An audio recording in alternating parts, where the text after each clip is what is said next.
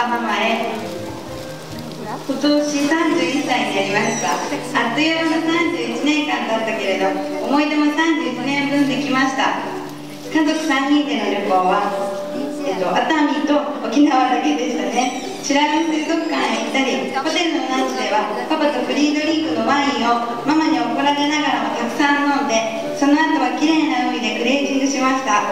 その時初めてパパと三井は体験ダイビングをしたよね。でも波が荒く遊泳区域内の足が海底につくところでの体験だったのでなんだかおかしくて家族さんにあんな体験はできないよねと笑ったのを覚えています。夜はママとホテルの温泉で伸び伸びしました。沖縄は3人とも大好きなので本当に楽しかったです。小さい頃パパは男の子の遊びばかり教えてくれました。丹沢へ行った時も綱渡りを教えてくれたり釣り堀で遊んだり吊り橋を2人で揺らして楽しんだりいつもママに怒られてました。大きくなってからは一緒に飲みに出かけることが多くなりました。よく鎌倉の殿山に行った時は周りの人に仲がいいですねって言われてなんだか嬉しかったです。三井が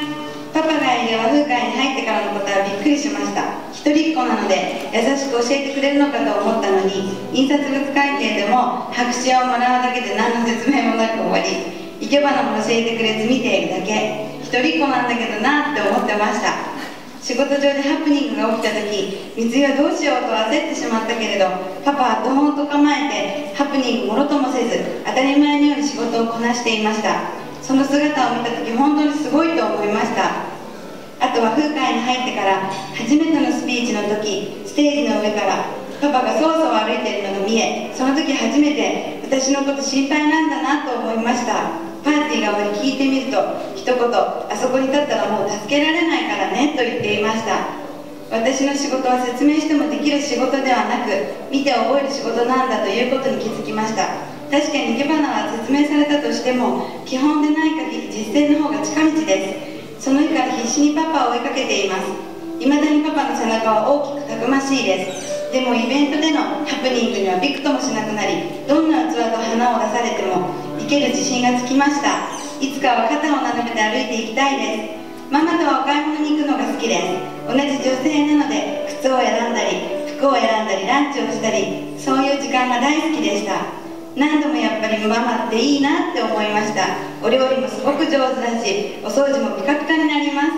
怒る時は激しく優しい時は優しく自分が辛くても周りを先に考えたり自分のことを後回しにしても周りに気を使ったり嫌なことがあってもぐっとこらえて笑顔でいるのすごいと思いました。フランダースの犬などの動物系にはめっぽう弱いところなど全てを含めて大好きです。そしてママは三井に強い心と笑顔の大切さを教えてくれました。女の子は1に笑顔2に笑顔3子がなくて5に笑顔。笑顔は周りの人を幸せにするだけではなく自分自身も幸せになれるものだと教えてくれました。この結婚だけれど2人の貯金が少なくて初めは2人でどこかであげてそして報告だけの結婚にしようと思っていたんだけど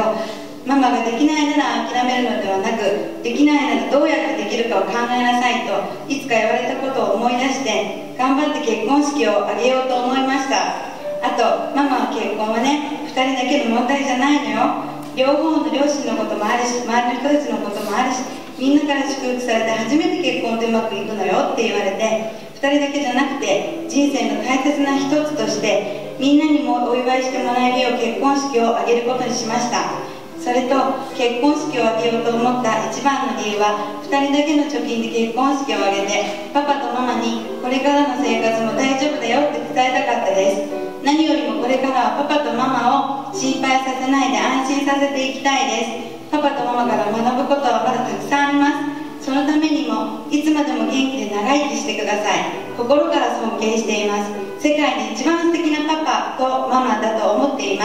す。そして世界で一番素敵な家族だとも思っています。パパとママの子で本当に良かったです。吉高さんはとても明るくて優しくて何よりもワンちゃん好きなので嬉しいです。パパとママも心配することがあると思うけれど2人でパパとママよりも幸せになるので安心してください。今まで育ててくれて本当にありがとうございました。これからもよろしくお願いします。大好きなパパとママへ。ありがとうございます。